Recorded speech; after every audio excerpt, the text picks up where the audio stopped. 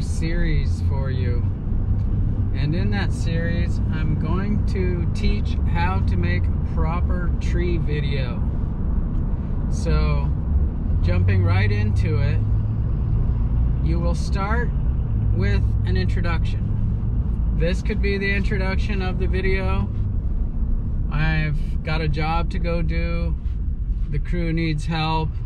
I don't have to put a lot of time in there, but if I show up with a chainsaw, with some climbing gear, I can knock the edge off the time that they're there. So that could be the introduction. That's actually what's happening. But the point is, you need a sequence. You need a story flow to the video. Whether you get fancy like and make up some kind of plot uh, like we did on the A-Team videos. We had a plot where we needed help with a project and we made this kind of magical way that we could instantly summon some help and it was just kind of a fun thing to do or whether it's just a simple straightforward tree video and you you have to show a proper sequence to it introduction then you got the body of the video the work. You need to show enough of the work to show the sequence of the job without showing so much of the work that it's just boring and you click away from it. And that varies depending on your audience. Some people would sit there and watch four or five hours of live monotonous video. Other people, they will click away within minutes if the screen doesn't constantly change. So you got to show sequence and then you need some decent ending too and it should sort of be like bookends introduction and the end should be some nice little bookends that you you introduced what you were gonna do, you did what you were gonna do, and then you kind of close out with a happy ending of yay we did it. That's a basic tree video. The simplest ones are one project, one camera. And you can do it with one camera. You just set the camera a few different places enough to, again, capture the sequence of the things that happen on the job. So what we'll do today is I'll bring the camera, I'll show up, we'll look at the tree a little bit, we'll do some tree work, and then I'll leave and we'll have sort of a wrap up, a conclusion. So that'll be a nice tidy video. And then in the next video, I'll go into detail about how to actually do the edit.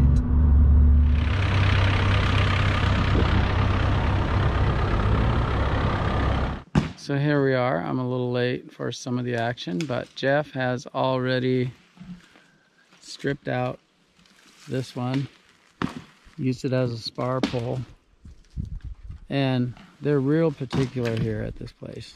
It's immaculate here.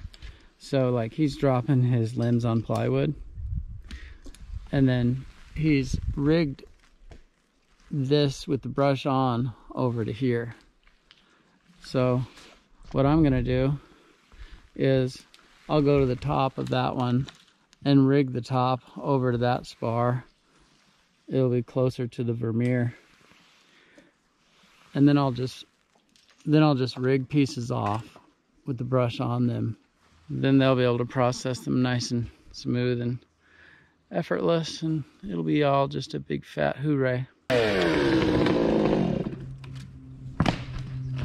What's up YouTube? So what we're gonna do is we are gonna cut down this fir tree. This is a yard where the people are quite particular about it so that's why there's plywood here in various places for the limbs that Jeff dropped earlier. So because they have quite a detailed mindset about their stuff, we are going to just rig this over to that spar with the limbs and the stems all connected. And that's kind of a noodly spar, but we've got the lowering device over there and the tree over here, so that puts the spar in the middle, which means when it first comes off, It's going to be pushing the spar down into the ground instead of bending it crazy.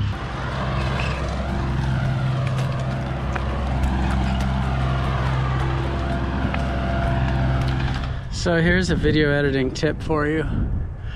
When you just have one camera or whether you have multiple cameras, you have to break up the monotony of, of shooting only with your helmet cam. Any constant camera angle, any angle that doesn't change and it's all shot from one perspective, especially the dizzying helmet perspective, will will make a video that you want to click away from. So it's okay to use the helmet cam a little. We used it a little when I started up. So in order to get a better sequence, better coverage of the sequence, then you'll need to do silly things like go up above where you're gonna climb to and set the camera like so. So set the camera up and I don't do this very often but um, if I want to show tell the story more than just get the job done. I'll do stuff like this. I'll set you guys right there. And then I'll drop down a bit and then I'll I'll show some of the ascent just for a good uh, story flow sequence sequence of events.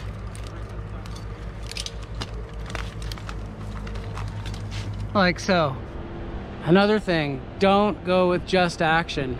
Like you ever been to an action movie like Terminator 2 or something like that where you were tired when you left? There was just like not enough uh, bridges you know?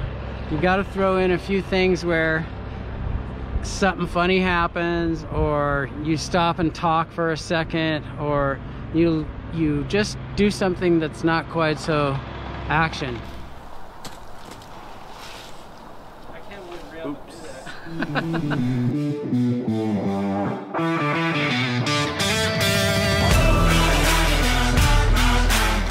so just to show the sequence, what I'm gonna do right now is I'm gonna yell down and say, okay, give me the rope. And that'll be the only thing that makes it into the sequence, but it's a nice break.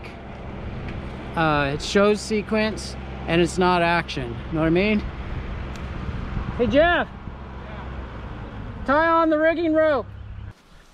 So again, we show a little bit of the process.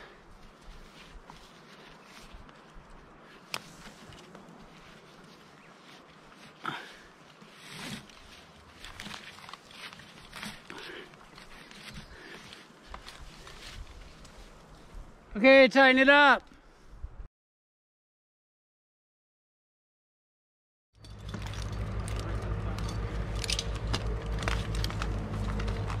Tie on the rigging rope. So in a tree, you got this scaffolding, this framework all around you for camera placement.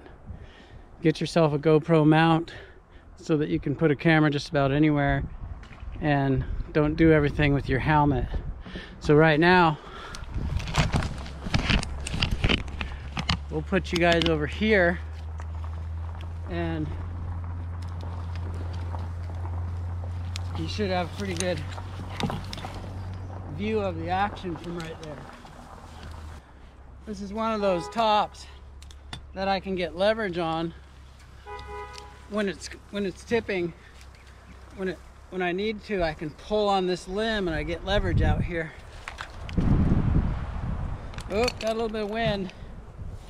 Which direction is it blowing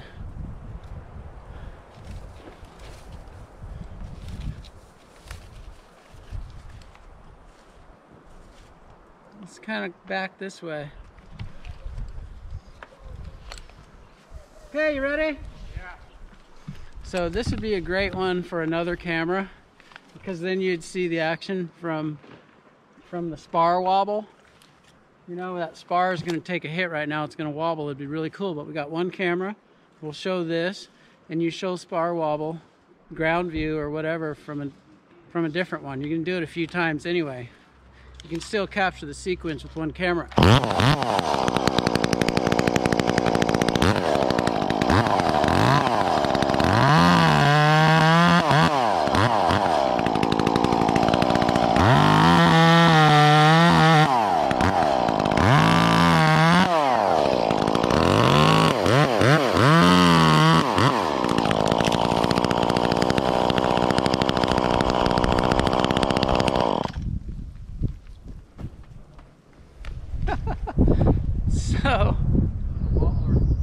that would have been cooler to show the spar wobble than it was here.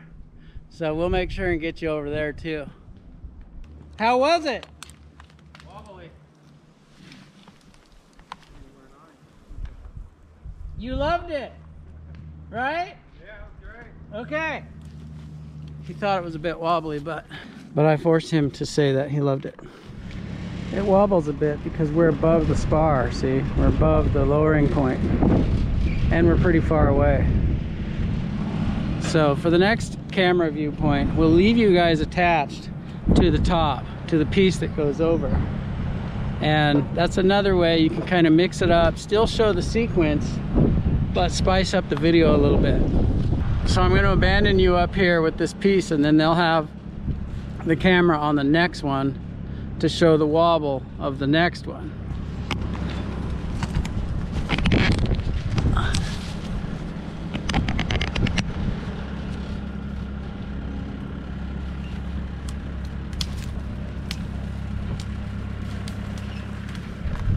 You gotta do things to make sure your view is not obscured.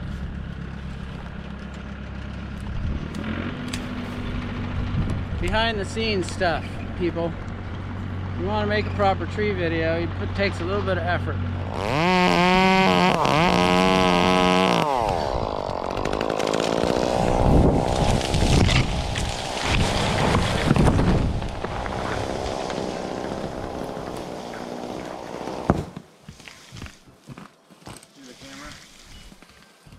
Yeah, I see it.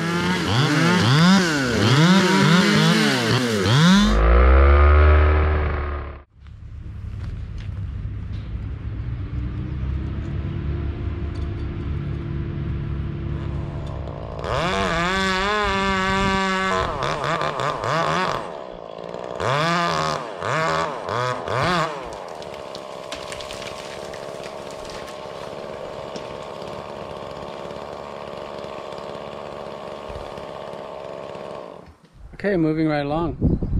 So now for another rigging point of view. We'll put you guys out on that limb there so you can see all the way over to the spar and if it doesn't get too wonky then it'll be a nice ride for the viewer.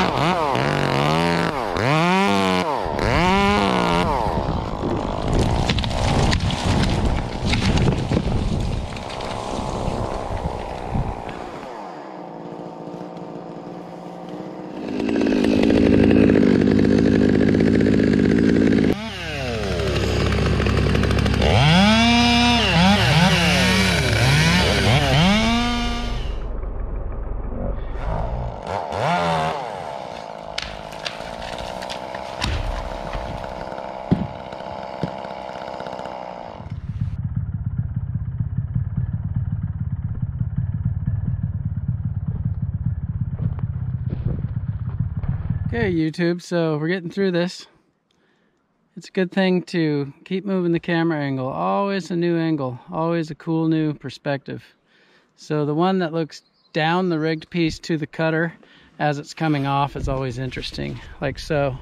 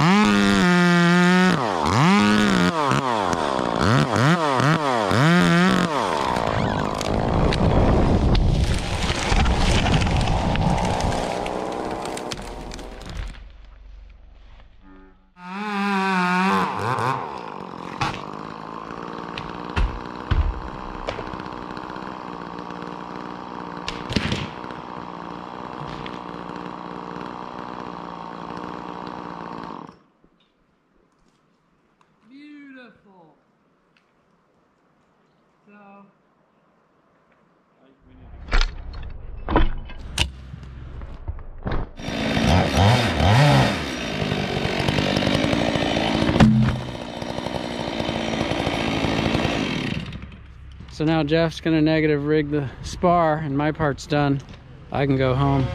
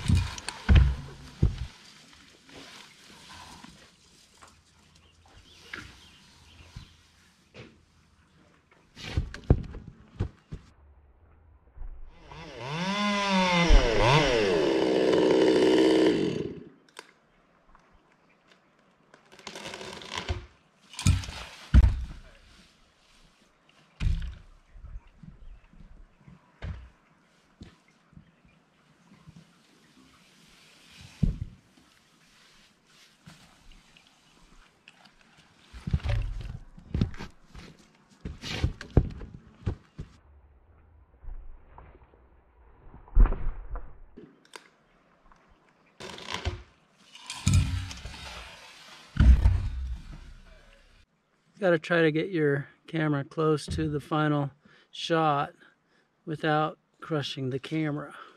Concerning recommended equipment for this series, I'm going to suggest GoPro. You're going to want probably the newest one if possible. It doesn't have to be, but it has the best sound, has the best picture. You're going to want a GoPro clamp so that you can get more than just a helmet cam view. I'm going to show the editing side with Final Cut Pro. I've done editing on both Windows platforms and Mac, and Mac is the best in my opinion. So if you remember at the beginning of the video and I was talking about story flow, the intro, the body of work in the middle, and then the conclusion, you can make a nice concise video out of a lot of footage, boil it down, but you need a clear sequence. You need that intro, you need the body, but not to overdo how much work is in the body. And then you need a strong conclusion. And that brings me to the subject of camera troubles because every time there's some kind of malfunction with usually a human running the camera or the camera itself. There'll be just glitches. And that is really the downside of shooting with only one camera because if you have multiple cameras, you can at least get another view of the shot if something happened to the first shot. This video is no exception. I set the camera scary close, wanted to get the charging rhino that dies at your feet effect. So the log crashes down on these other logs and literally stops eight inches from the middle of the lens. Would have taken up the entire camera picture here. Would have been a beautiful conclusion, but because we had used up some battery power on a little mishap we had over here with Adam on the skid steer, we didn't have enough battery at the end. There always will be some kind of camera trouble, and some of it, it'll break your heart. You'd rather smash the camera than lose footage. And sometimes you'll do both. So for this video, I have to end it with something a little different. I could end it with just my spar hitting the ground and not do the roping part. Or I could just kind of fade out as we're roping the last pieces down. So now let's show you what the concise video would look like with a little bit of music added and a few edits to tell the story more like poetry, and poetry is short and sweet, in my opinion. Tune in next time and we'll talk about the editing. What's up, YouTube? What we're going to do, I'll go to the top of that one and rig the top over to that spar. Then I'll just rig pieces off with the brush on them. And they'll be able to process them effortless and it'll be all just a big fat hooray, hooray, hooray, big fat hooray.